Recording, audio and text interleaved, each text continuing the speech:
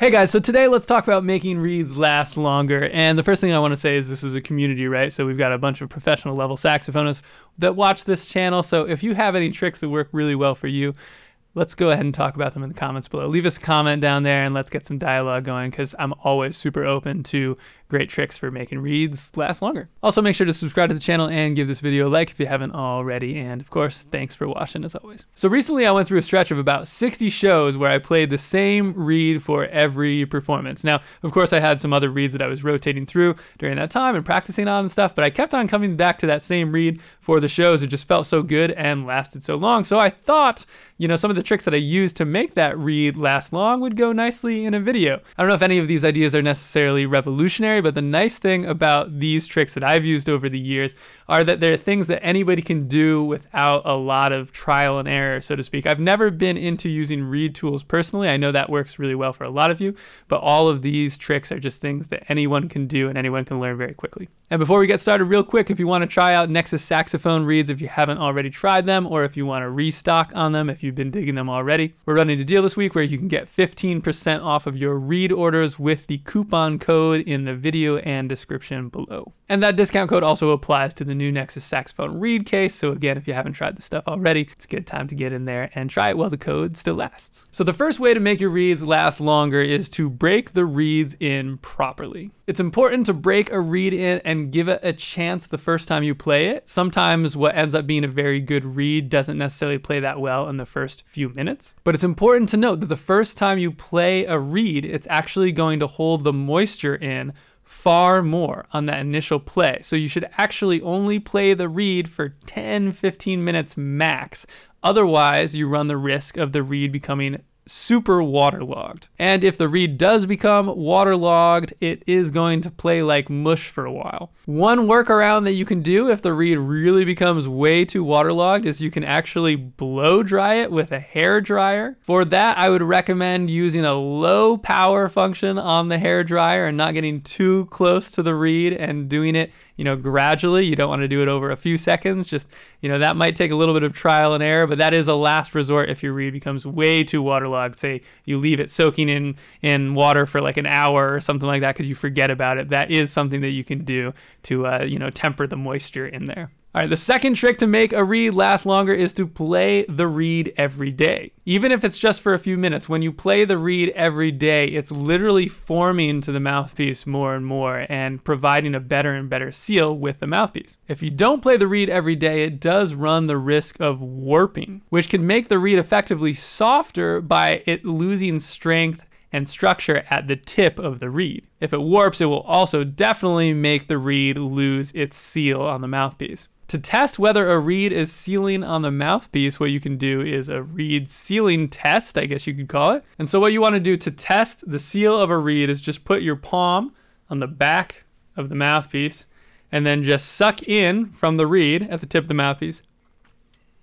And so what we see and hear there is that the reed does stay sealed to the mouthpiece for a second and then makes that popping noise. If the reed was not sealing well to the mouthpiece, it, you would not get that suction that happens for a second there. So again, this end of the mouthpiece we want to be completely sealed.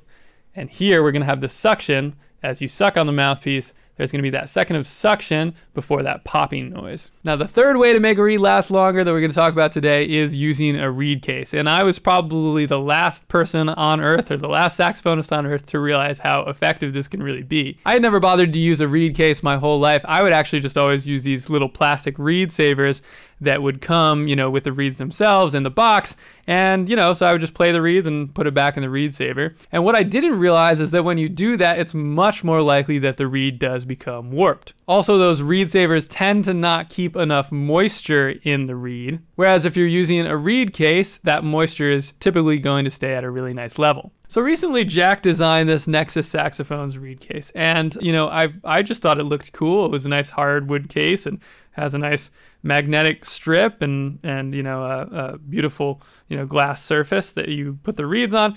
Uh, I didn't think I was necessarily going to use it that much, but I tried it out and I again I didn't realize how much using a reed case really helps um, with keeping the reed at a proper moisture. And I found that the reeds were warping way less. And over the last few months, of a bunch of intense touring it ended up helping a lot. Now, of course, there are a bunch of different reed cases out, and I'm sure they're all great with tons of different brands. So no need to, you know, use this Nexus Saxophones reed case. But I can say that using a reed case in general has been really beneficial for me. And uh, if you haven't tried it already, again, I was probably the last person to ever figure this out. But if you haven't tried it already, make sure to do that. It helps a lot with making the reeds last. So the fourth way to make a reed last does touch on the benefits of using the reed case. That is going to be controlling the humidity of the reeds. And I do find that takes a bit of trial and error. If you're living or traveling through a climate that is particularly humid, you're going to want to let the reeds kind of dry off a little bit outside of the case before you put them in. If you're living or traveling through an area that is particularly dry, you can probably just put the reeds right into the case. Also, you're probably going to want to soak your reeds a lot more in a drier climate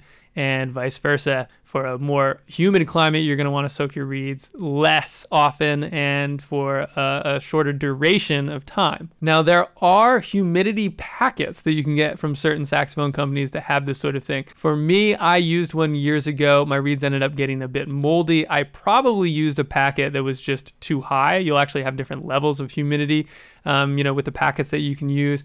Again, I think this all takes trial and error. Whether you're using the packets or just going into the case, I think trial and error is, is really the best way to just get a sense of how you want to be doing it in the certain environments that you are playing in. But the greater point, just being aware of the humidity element with the reeds. And again, you don't want them to get totally waterlogged, but you also don't want them to get dry and warp. The fifth thing that's going to help your reeds last longer is to clean the reed. Over time, if your reed starts to get moldy, you're not going to want to play it for obvious reasons. So cleaning the reed, you know, at least rinsing it with water can be really effective. A lot of people like using hydrogen peroxide. If you are going to do that, of course, use the safe kind and do not drink the hydrogen peroxide. But with that, what I usually do is just pour some hydrogen peroxide on it and then rinse off the reed after. Whatever you do to keep the reed clean uh, can really help over time so the bacteria doesn't build up on it and it's going to make it easier to play the reed over a longer duration of time. Number six is don't practice a lot on your best reed. So when I was going through this stretch of touring where I again played almost 60 shows on the exact same reed,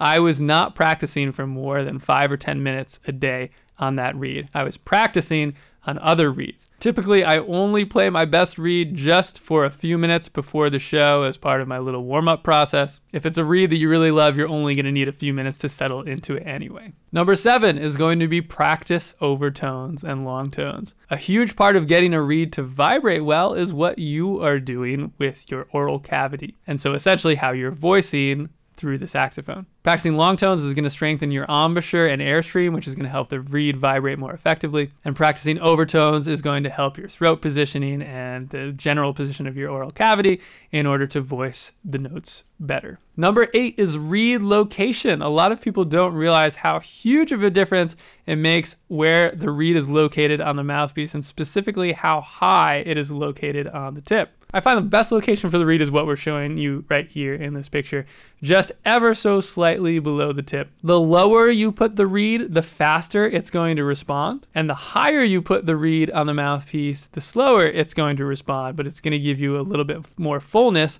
in the tone. So essentially, the higher you put it, it's going to feel harder and the lower you put it, it's gonna feel softer. Adjusting the location of the reed does really make a huge difference, and especially as you're playing the reed over time, you might want to raise its location on the mouthpiece ever so slightly, the softer the reed gets. Number nine is gonna be to brush your teeth before you play whenever you can. That's not always going to be convenient or possible necessarily, but as much as you can try to keep your mouth clean, even if you're just rinsing out with water, as much as you can try to keep your mouth clean before you play, that's going to help the reed not accumulate too much harmful bacteria over time. Number 10 is going to be if you're finding that your reeds are barely lasting long at all, consider a harder reed or a larger tip opening of the mouthpiece. Some people like soft reeds with large tip openings, some people like hard reeds with small tip openings. It's really just about finding what works best for you. I personally play on a 110 opening for my tenor Nexus Edge mouthpiece, and I play on the Nexus 2.5 reeds. Sometimes I play threes. I personally love how that feels for myself, but everyone is different, and I find it takes time to find something that you really like. Jack and I actually put almost two years into finalizing the mouthpiece and redesign to be something that I felt really, really good about. So I think if you put the time into experimenting with different equipment, it can be really worthwhile to find something that you love.